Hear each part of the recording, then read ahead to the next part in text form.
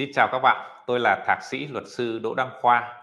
Vừa qua khi tôi có làm mà chủ đề like là lưu ý khi tặng cho nhà đất cho con.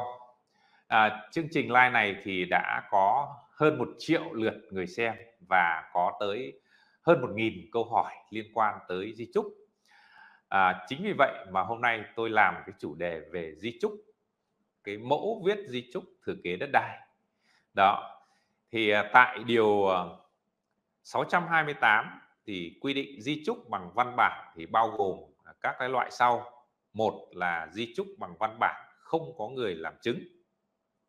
À, di chúc lập bằng văn bản không có người làm chứng đó là cái hình thức di chúc mà người để lại di chúc tự tay viết di chúc và tự mình viết tự mình ký đó, mà viết ở đây là yêu cầu là viết tay Đấy, chứ không phải là đánh máy.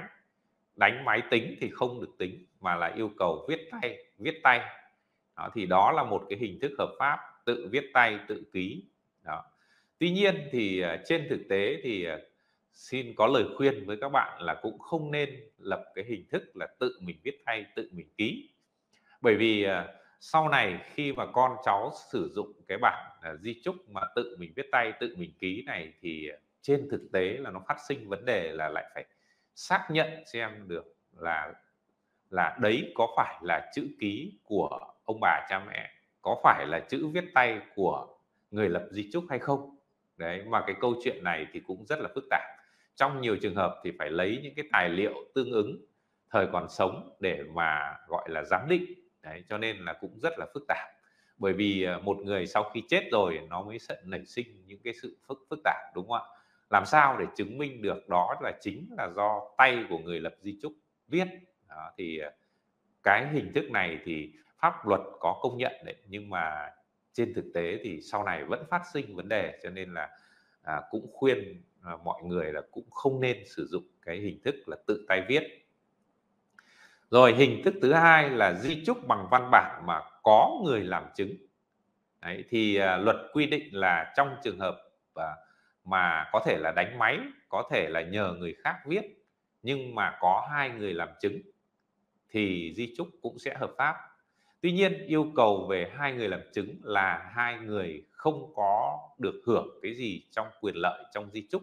Hai người đó cũng không thuộc cái hàng thừa kế theo pháp luật thì mới được làm chứng nếu như là bố mẹ viết di chúc à, đánh máy di chúc sau đấy thì con cái làm chứng ấy, thì cũng vi phạm. Bởi vì con cái là người được thừa kế theo quy định của pháp luật cho nên là luật cũng không cho phép làm chứng để đảm bảo cái tính khách quan. Đó do vậy là cái này nếu mọi người nào mà lập di chúc mà có hai người làm chứng thì cũng phải lưu ý chọn cái người làm chứng. Nói một cách à, à, dễ hiểu đó là những cái người không liên quan tới à, hàng thừa kế không được hưởng gì tới quyền thừa kế cả. À, ví dụ như là nhờ bạn bè à, thì được chứ còn con cháu là không được. Rồi cái hình thức thứ ba đó là di chúc bằng văn bản có công chứng. À, có nghĩa là người lập di chúc thì có thể tự mình à, soạn di chúc à, hoặc là ra văn phòng công chứng tuyên bố nói với văn phòng công chứng là tôi muốn à, phân chia di sản sau khi chết là như thế này đúng không ạ? Muốn à, giao lại quyền và nghĩa vụ cho các con các cháu là như thế kia và văn phòng công chứng người ta sẽ lập di chúc cho mình người ta chứng thực cho mình. Đó, gọi là trường hợp này nó gọi là di chúc lập bằng văn bản mà có công chứng. Đó, thì đây là một cái hình thức rất là hay và rất là văn minh và rất là đảm bảo. À, tránh được cái tranh chấp sau này khi mà đã có di, di chúc rồi thì cứ thế mà làm thôi. Trường hợp thứ tư là lập di chúc bằng văn bản có chứng thực. À, chứng thực ở đây có nghĩa là là ủy ban nhân dân xã phường thì cũng có chức năng chứng thực. À, chứng thực cái di chúc giống như văn phòng công chứng.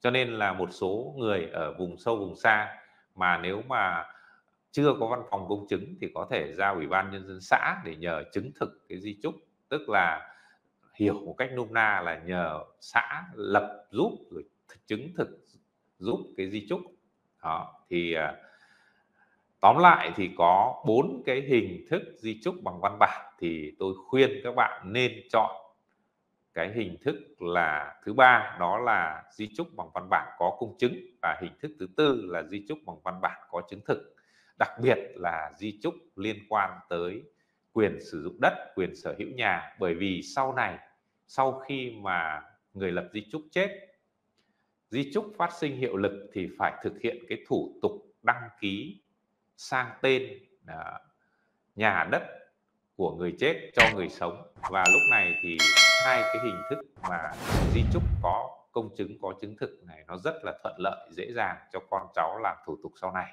do nên là khuyên các bạn nên sử dụng hai cái hình thức này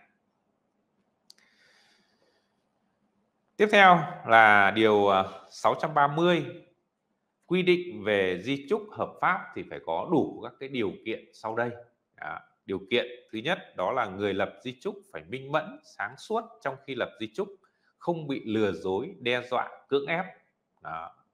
thì cái này là một cái quy định để đảm bảo cái tính khách quan vì trên thực tế thì đã xảy ra nhiều các cái trường hợp à, con là ép bố mẹ phải lập di chúc đặc biệt là bố mẹ khi già ví dụ như ở với thằng con trai đúng không ạ? Con gái thì ở chỗ khác cho nên là thằng con trai là tính là sau này bố mẹ là già sắp hai năm mươi rồi thì mình phải được hưởng toàn bộ cái nhà đất này. Đó thì à, ép bố mẹ phải lập di chúc Đấy. trên thực tế còn có trường hợp là là ông bố là bị à, gọi như là ung thư đau chịu không nổi thì thằng con trai nó đã ép bố là phải lập di chúc thì nó mới cho uống thuốc giảm đau.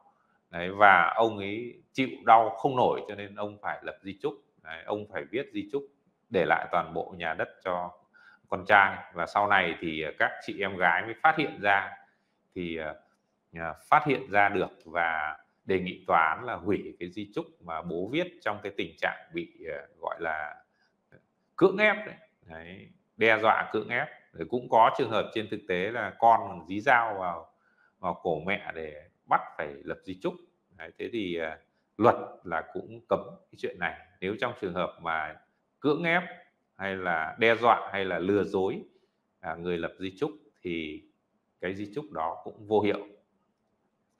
Điều kiện thứ hai của di chúc là di chúc không được vi phạm điều cấm của pháp luật điều cấm của pháp luật là gì? À, ví dụ như là lập di trúc mà để lại ờ, cho con cháu đất của ông hàng xóm làm sao mà được đúng không ạ? Ví dụ đất mà đất lấn chiếm là xong lại lập di trúc để lại cho con cháu thì cũng không được. Đấy, bởi vì đấy là điều cấm rồi. Chỉ ờ, đất đai là của mình thì mới được lập di trúc chứ làm sao mà mình lập di trúc đất của người khác cho con cháu được đúng không ạ? Rồi di trúc nội dung của di trúc không được trái đạo đức xã hội thế nào là nội dung không được trái à, à, đạo đức xã hội? À, ví dụ như là bố mẹ lập di chúc cho con cháu được hưởng cái nhà, nhưng mà khi còn sống thì rất là thù cái ông hàng xóm. Đấy. Và mình lúc sống thì mình không trả thù được. Lập di chúc là yêu cầu các con là cho mày, chúng mày cái nhà, nhưng mà sau này chúng mày phải trả thù tao, giúp cho tao, trả thù ông hàng xóm, đúng không ạ? Thì à, cái điều đó đó là trái đạo đức xã hội hình thức à, di chúc thì không được trái quy định của pháp luật. À, hình thức di chúc thì tôi vừa chia sẻ ở trên rồi. Có hai hình thức, một là di chúc miệng, hai là hình thức di chúc bằng văn bản. Trong hình thức di chúc bằng văn bản thì có bốn loại và tôi khuyến nghị các bạn là nên thực hiện cái hình thức là di chúc được công chứng hoặc là được chứng thực. Tiếp theo đó là điều à, 631 có quy định về nội dung của di chúc. Cái điều này đi vào chi tiết thì nội dung của di chúc theo luật quy định đó là à, cần phải bao gồm các cái yếu tố sau. Ngày tháng năm lập di chúc họ tên và nơi cư trú của người lập di chúc họ tên của người cơ quan tổ chức được hưởng di sản di sản để lại và nơi có di sản. Đấy về cơ bản thì à, cần có những nội dung đó ngoài những nội dung quy định à, tại khoản một điều này thì di chúc có thể các cái nội dung khác. Đấy thì chúng ta biết được là luật thì chỉ quy định về cái nội dung bắt buộc về tài sản thôi, nhưng trên thực tế đối với một cái di chúc thì có rất nhiều trường hợp đó nó còn là cái, gọi là, cái tâm huyết, cái tâm nguyện, cái chúc thư của cha mẹ, ông bà muốn à, dặn dò, muốn truyền lại cho con cháu những cái giá trị về tinh thần, ví dụ như kinh nghiệm sống hay là cách ứng xử hoặc là những cái bí quyết à, đối nhân xử thế hoặc là những cái tâm nguyện của mình về giữ gìn, gia phong. Đó thì tất cả những cái đấy đều được phép lập và di chúc đúng không ạ? Thì chúng ta biết được một cái bản à, di chúc mà rất nổi tiếng mà không có hề có một cái chút nhà đất hay tài sản, vật chất nào nhưng mà nó lại à, vô cùng có giá trị. Đó là bản à, di trúc của chủ tịch Hồ Chí Minh vĩ đại, đúng không ạ? Hoàn toàn đó là một cái bản di trúc mà nó là cái tâm nguyện của của bác Hồ vĩ đại để lại cho cả dân tộc, cả đảng, ta, cả nhà nước những cái à, giá trị rất là sâu sắc, những cái bài học cũng như là những cái đường lối về gọi là lãnh đạo đất nước, đúng không ạ? Còn à, tiếp theo thì cũng có một cái lưu ý rất là quan trọng đó là di chúc không được viết tắt hoặc là viết bằng ký hiệu. Nếu di chúc gồm nhiều trang thì mỗi trang phải được ký và ghi số thứ tự có chữ ký hoặc điểm chỉ của người lập di chúc. Trường hợp di chúc có sự tẩy xóa sửa chữa thì người viết di chúc hoặc là người làm chứng di chúc phải ký tên ở bên cạnh chỗ à, tẩy xóa sửa chữa. Thì đó là một số những cái lưu ý. Vâng nếu mà nói về cái à, nội dung di trúc thì không gì bằng thì tôi giúp chia sẻ cho các bạn một cái mẫu, đúng không ạ? Đọc luật và vận dụng thì cũng rất khó, nhưng mà tôi cho các bạn một cái mẫu rất là rõ ràng và có gợi ý và đầy đủ. Các cái nội dung để các bạn dễ vận dụng thì đây là cái à, cái mẫu mà các bạn có thể có thể lấy.